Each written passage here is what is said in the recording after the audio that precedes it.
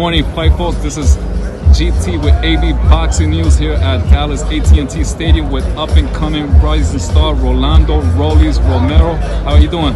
How's it going? I'm great. Uh, my first time in Dallas. I like it here. Great, great. So you definitely put on a good show last um, time we saw you up in the Carson Center in California. Yeah. You definitely had a good show where you put your opponent away. It lasted like 30 seconds. Boom! Knocked him out quick.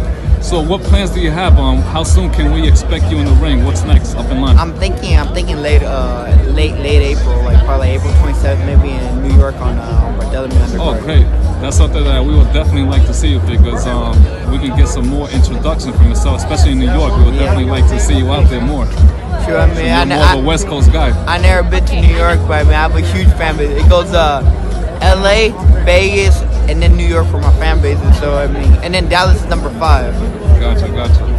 So, what do you think of this big event? Like, um, what are we going to be expecting tomorrow night? I know, you know, you might not want to give us prediction, but how do you see this fight playing I, out? I think it's gonna be a very competitive fight. I think it's gonna be a very competitive fight, and uh, I, I like both fighters a lot. Yeah, I learned a lot from watching both fighters. So you so much. I, I'm, I'm excited to be here. This fight has all the exclusives, definitely all the um, parameters to go into 12 rounds, definitely, all the way. You. Mike, Mikey's very experienced, and then Spence is just, you know, he's a massive, strong welterweight. And Mike, Mikey's strong too. And, you know, I, like I said, it's gonna be a great fight. And also, of course, you're here to see one of your colleagues from Maydown, May, Mayweather Promotions. Oh, Jay uh, Leon Leon Love. Yes, he's here. The- See, the thing is, they're both. I saw, I saw Jay uh, on Monday before he flew out, and David, my boy too. You know, I used to train with his dad. I trained to fight with his dad.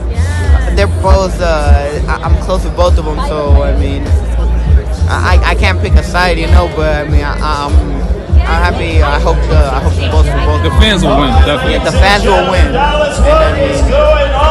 It's gonna be a great fight regardless. And just one more prediction on you before you leave. Um, how do you see Danny Jacobs versus Canelo Alvarez? Canelo. Canelo, Canelo pound for pound right now. And where can the fans follow you, just so that they can keep you in touch? On Instagram, follow me at Rollies R O L L I E S S S, and Twitter sign up for KOs.